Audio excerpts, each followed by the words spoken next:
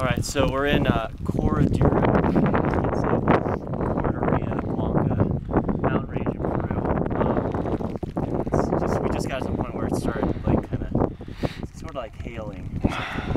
Anyway, we're about to go up to the, we're gonna go to the toppest point in our trek, which is like around 4,700 meters, 4,750 meters maybe. Yeah. Um, so we got to go up that switchback right there, which is gonna be crazy.